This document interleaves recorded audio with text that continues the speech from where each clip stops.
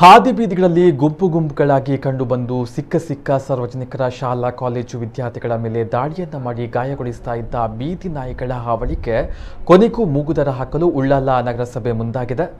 ಬೀದಿ ನಾಯಿಗಳ ಹಾವಳಿ ಹೆಚ್ಚಾಗಿದ್ದು ಒಂಟಿಯಾಗಿ ಮಕ್ಕಳು ಹೋದರೆ ಅಥವಾ ಮನೆಗೆ ಹಾಲು ಬಿಸ್ಕೆಟ್ ತಿಂಡಿ ತಿನಿಸು ತರುವ ಸಾರ್ವಜನಿಕರಿಗೆ ಇನ್ನಿಲ್ಲದ ರೀತಿಯಲ್ಲಿ ಕಾಟ ಕೊಡ್ತಾ ಇದ್ವು.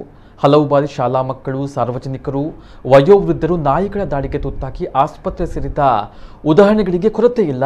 ಇದರಿಂದ ಎಚ್ಚೆತ್ತುಕೊಂಡ ನಗರಸಭೆ ಬೀದಿ ನಾಯಿಗಳ ನಿಯಂತ್ರಣಕ್ಕೆ ಸಂತಾನ ಹಣ ಶಸ್ತ್ರಚಿಕಿತ್ಸೆ ಮತ್ತು ರೇಬಿಸ್ ನಿರೋಧಕ ಚುಚ್ಚುಮದ್ದು ನೀಡುವ ಕೆಲಸವನ್ನು ಇಂದು ಮಾಡಿತ್ತು.